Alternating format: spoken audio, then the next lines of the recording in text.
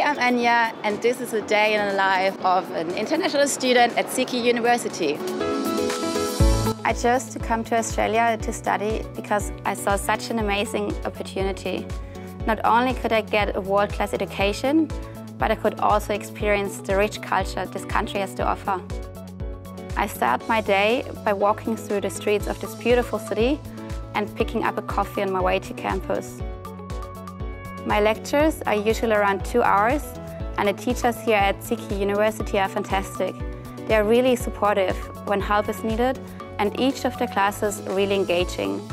Between lectures, I like to do a bit of shopping. So many great places to explore. It can be an easy way of losing track of time. I like to go for lunch at one of the great cafes in the city. I usually head to the computer rooms on campus for these afternoon sessions. The facilities they have are really impressive.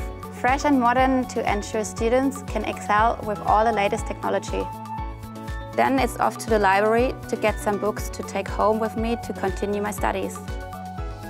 CQ University is somewhere that you can not only learn more about your chosen subject, but also about yourself. It's really easy to get on with people and make new friends, because like me, everyone comes from a different part of the world. In our spare time, we usually take the time to sit and chat. Trying to teach each other different languages is always heaps of fun. There's just so much to do here. CQ University gives you the chance to be what you want to be, and it's an experience I will never forget.